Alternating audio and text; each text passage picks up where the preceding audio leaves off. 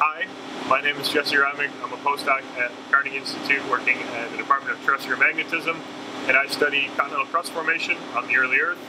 And uh, what we do is a lot of uh, isotopic and geochemical analyses of old rocks that we collect from around the world uh, and to study how and when they formed, when and how continents grew um, on the early Earth. Well, one of the one of the fundamental things that we don't understand about our Earth is, is when and how continents grew, and, the fact that we have continents on Earth as a major is a very important um, part of what makes our life, our planet habitable, and what, what makes it unique in the solar system. And we really don't understand how and when these continents were extracted from the mantle. So that is the, the main sort of goal of our research program is to understand uh, the timing and, and mode mechanism for formation of continents. The reason that understanding when continents grew is important uh, is because, first of all, Earth is the only planet in our solar system that we know to have continents. Uh, the continents have a control over the composition of the atmosphere and ultimately led to the evolution of life as we know it. We only exist because continents are here, most likely.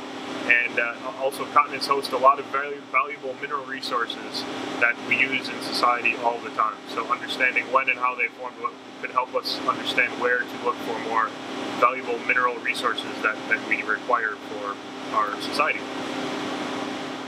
One of the main questions when studying when continents formed is the when part of it. You need to know the age of rocks that we think represent continents. So what we do is we go out into the field and we collect these rocks and we need to know the age of them. Um, so we bring them back and there's certain minerals that we can look at that are very good for geochronology. So we bring them in the lab. What we're doing today is using a laser system to uh, ablate the zircons and then uh, look at the uranium lead isotope ratios, which give us an age. So really, a fun- fundamental part is understanding when these rocks form and when they crystallized from a magma. And that's what we're doing today in this lab. That noise that we're hearing is actually the laser firing, and you can see little flashes here, which are the laser hitting a sample and the laser, the, the sample is then carried through a, a variety of tubes and, and, put into the mass spectrometer. And what we're seeing here is the uranium, the signals of uranium and lead that are coming right from the zircon mineral. And so we can determine the ratios here and, and figure out what the when the age of that mineral grew, and therefore the age of when this package of continental crust grew.